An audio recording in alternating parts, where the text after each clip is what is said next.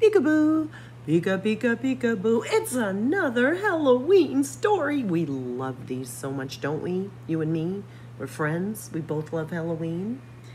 So this one, the title says, "If animals trick or treated, have you ever wondered if they do?" Well, this might give you an idea of the kind of things they might want to do. This book was written by Ann Whitford Paul, illustrated by David Walker, and this book was published by Farrar Straus Giroux. Here we go, friends. If animals trick or treated, Mama and Owlet at the pumpkin stall would choose a pumpkin like Owlet, small.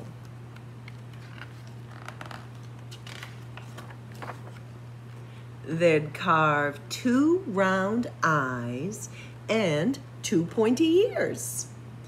Bat Pup would carve hers with fangs like spears.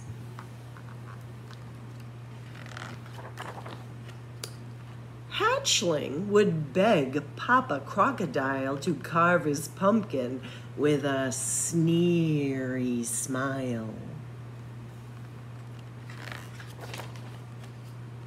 If animals trick or treated, then Mama and Owlet would decorate trees with cobwebs, swish swaying in the breeze. Anteater and Pup would shove with their snouts to loop de loop orange and black streamers about. Vulture chicks would scat scatter fresh skeleton bones close to a cluster of old tombstones.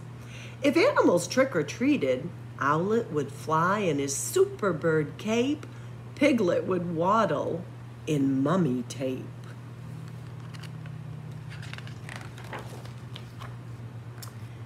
Zebra foal would prance, prance in a costume of spots.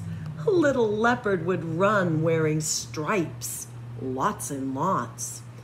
Panther would don a tall witchy hat and hold paws with her spooky black cub cat. If animals trick or treated, Owlet and friends would knock, knock, knock at nest, outside dens, and under a rock, promising a trick if they didn't get treats. Parrot would give out her yummy seed sweets.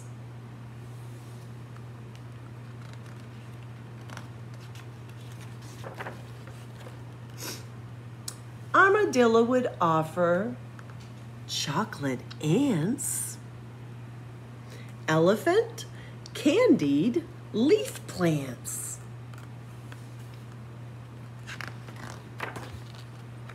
Bear's surprise, honey gummy bears. Raccoon, his famous garbage fudge squares.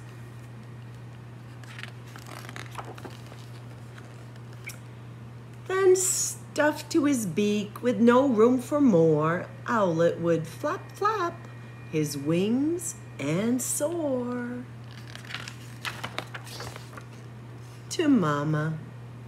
Under the moon's spooky light, they'd read scary stories and shiver with fright.